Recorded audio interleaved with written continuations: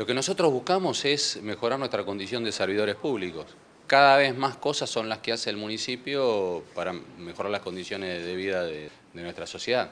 El municipio es el primer lugar de contacto del hombre, de la mujer, del niño, del, adulto mayor con, la vida pública. Y ellos son servidores públicos. Con la provincia lo que hacemos es mejorar la condición de, tratamiento, la condición de atención al público, etcétera. Así que distintas áreas que están preparándose en este programa.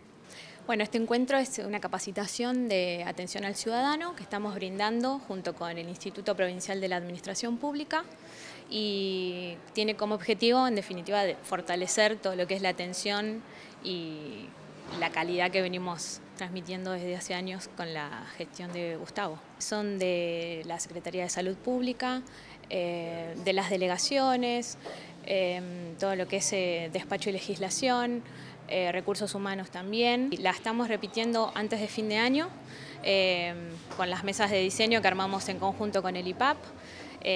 por el convenio que firmó el doctor Gustavo Pose en el año 2016 y lo venimos trabajando desde entonces hasta ahora.